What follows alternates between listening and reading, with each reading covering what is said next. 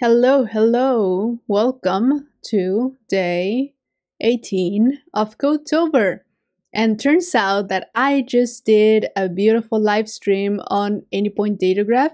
So I wanted to kind of bring everything that I did together in a summary to create a video about it.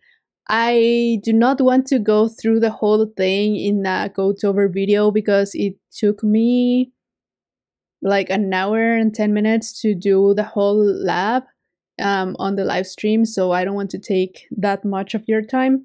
But I did want to kind of create the summary of what is Datagraph um, and why it's nice. Because I, I didn't know about it um, like two hours ago. I just learned about it in the live stream that I just did.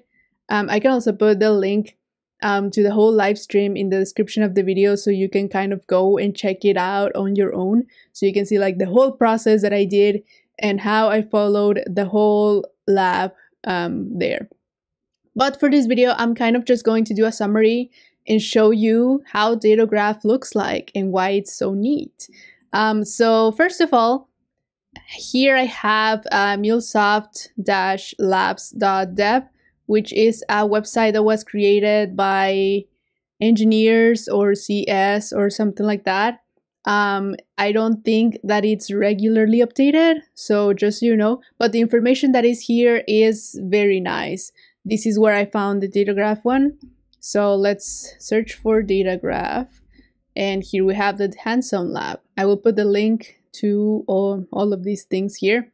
And as you can see, I already did all of it. I am at step 10, but I can kind of give you an overview of everything that I did.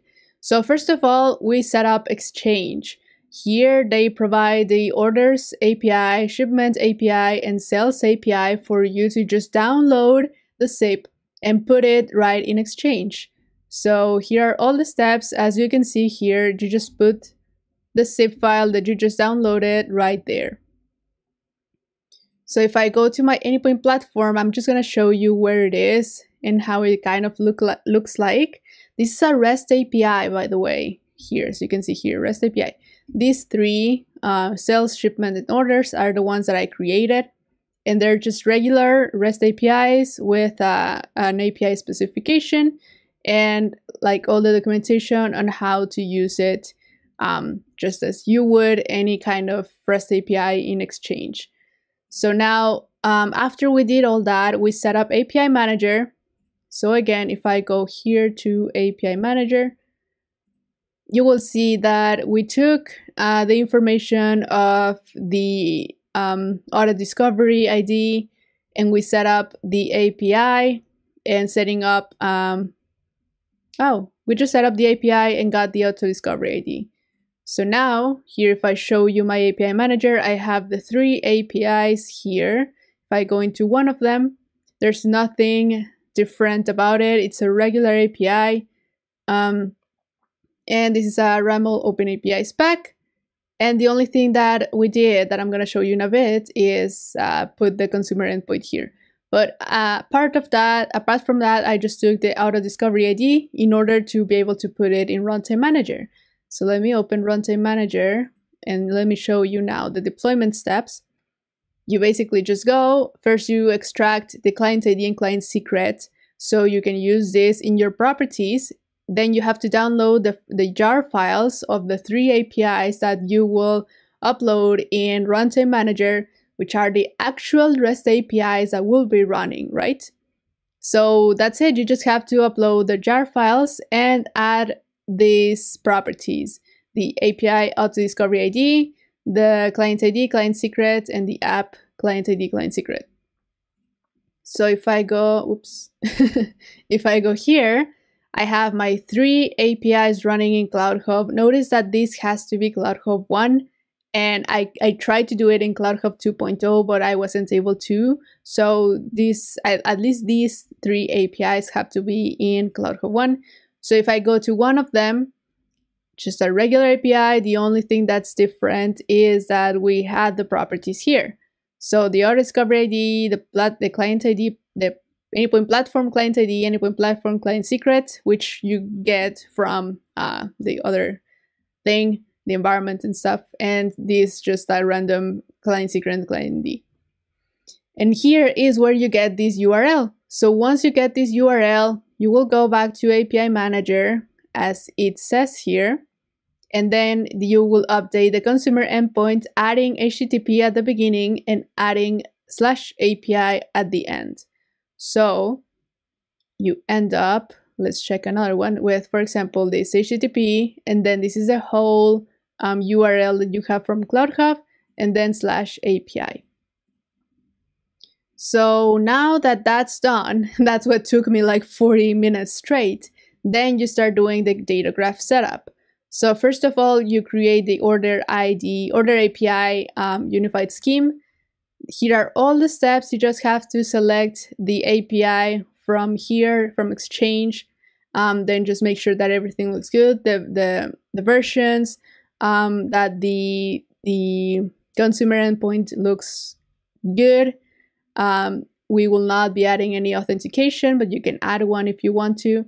Here's how it will look like and you can edit the schema. What we did here was to make sure that all of the nested types were visible and also that the type, the level one type was set to enable collaboration because otherwise you will not be able to let anyone else query this kind of type, this type.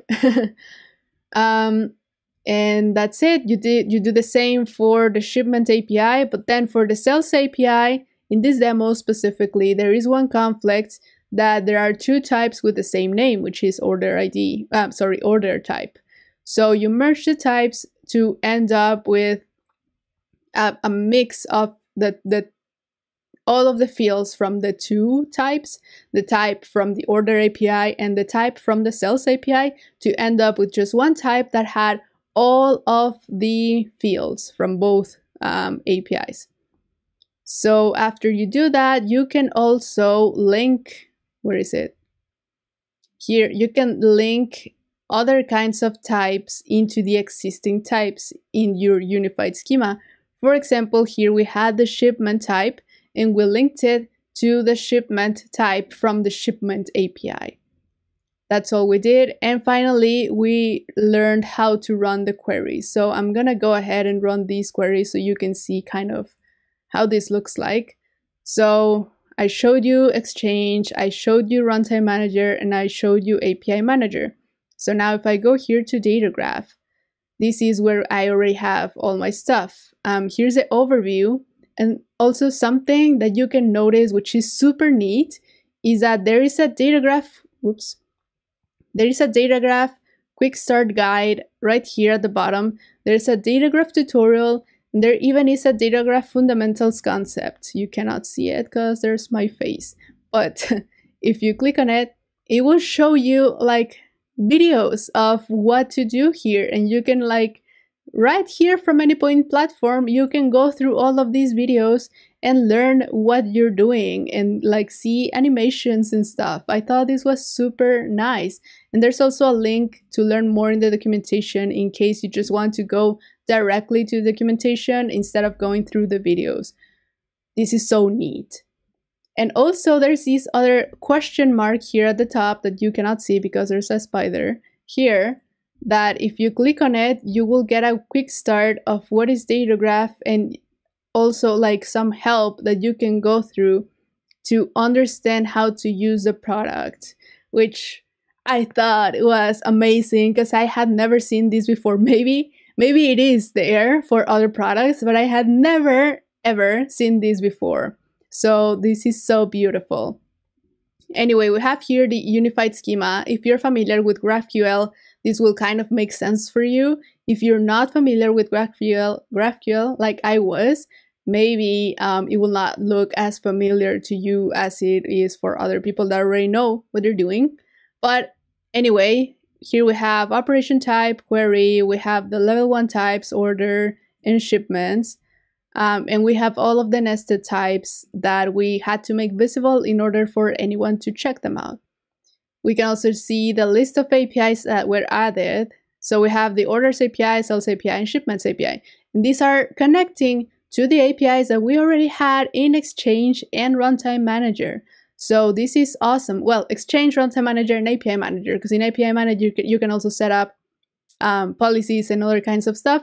So I'm not 100% sure how all of that connects, but these are the APIs from those parts. So you didn't have to create the GraphQL API from scratch. You can just connect this GraphQL kind of interface to your APIs that you have on the REST APIs on Runtime Manager, like a Mule application. And there are also the response logs. So all of the logs of everything that you have sent will be here. Now, if I click on run operation, I will be able to see um, what kind of queries I can do. And these are not here by default. This is just what I run. So if I click on history, I will see um, other queries that I have run that are in the hands-on lab, but it keeps it, it, it, like, it kind of like keeps a history of all of them, which I think is so cool because that way you don't have to go back and forth um, copying and pasting from one place to another. They will just be here. That's so cool. So anyway, um, this is one, this is another one. This is, uh, well, this is easier.